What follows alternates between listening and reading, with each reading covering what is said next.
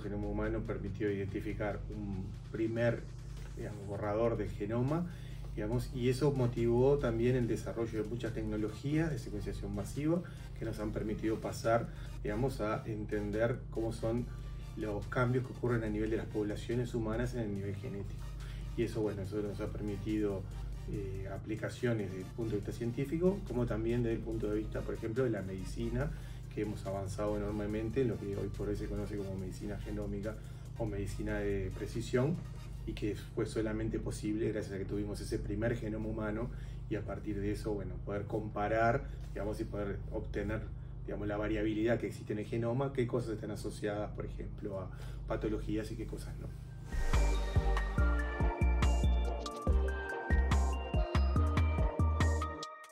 Es un tema, digamos, eh, complejo, digamos, pero claramente la comunidad científica en su mayoría, digamos, se ha decantado por la no existencia de razas, por lo menos desde el punto de vista genético, digamos, la, eh, la variabilidad que existe dentro de las poblaciones es, digamos, mayor que la que existe entre lo que sería, digamos, el concepto antiguo de raza. Entonces, claramente no hay soporte, digamos, desde el punto de vista genético para el concepto de raza. El concepto de etnia es un concepto válido, es una construcción social, digamos, que no, que no tiene nada que ver, tiene completa validez. Ahora, desde el punto de vista genético, no hay nada que permita afirmar la existencia de razas entre otras cosas, digamos, uno se preguntaría cuáles son esas famosas razas, digamos. Y entonces cuando uno pregunta a los que sostenían la existencia de razas, el número variaba entre 5 y, decenas. Entonces claramente no tenemos nada que soporte actualmente eso.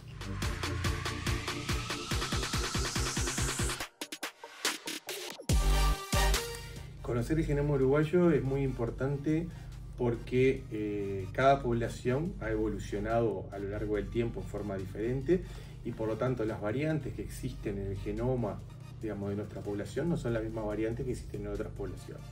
Entonces,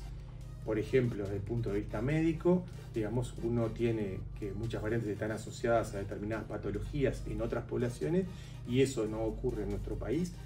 o incluso variantes que en algunas poblaciones aparecen como reportadas, digamos, eh,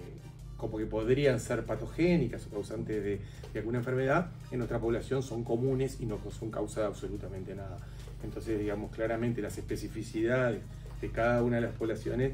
eh, comienzan a ser muy importantes en esa medicina de precisión o esa medicina genómica.